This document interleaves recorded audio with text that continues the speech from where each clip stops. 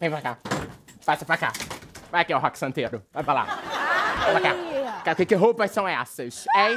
Cê- Comprei, querida. Você tá roubando? Tudo de marca, querida. Dutch, Cabana, Cut, Praga, tudo de marca. Praga é tu. Eu quero saber, tu tá roubando? Me fala. Claro que não, né, mãe? Tá maruca, Deus me livre.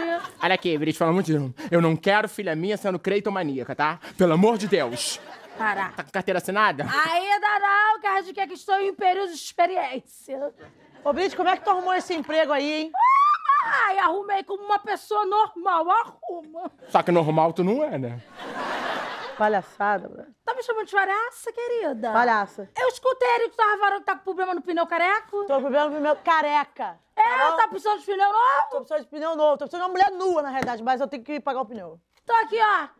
Compra os pneu novo, tá precisando de pneu novo. Compra os pneu novo, tá precisando de pneu novo. Caraca, meu irmão, isso aqui dá pra pneu novo, dá pra botar uma mulher nua saindo do pneu novo e dá pra pagar o motel. É isso. Aproveita e abastece. Vou abastecer a martinária. Aqui, só, só, só, só. Tá. Tu coloca também nome próprio na tua chubaca? Eu coloco o nome de cantora MPB. É mesmo? É. Eu gosto. Sabe que eu gosto?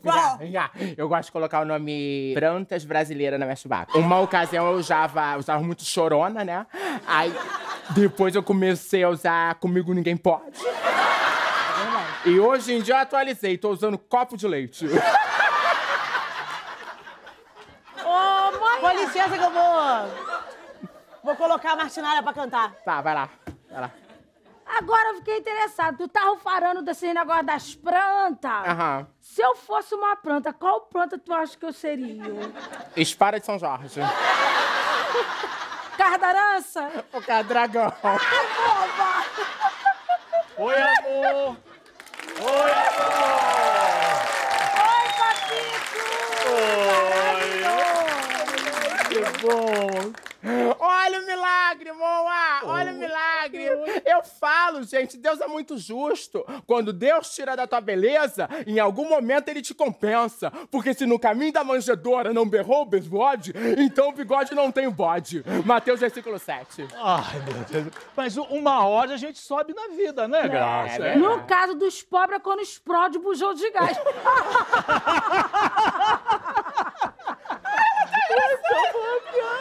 Olha só, agora falando sério, tá? As coisas não vêm fácil pra mim, não. Vem sim, que a feiura chegou facinho.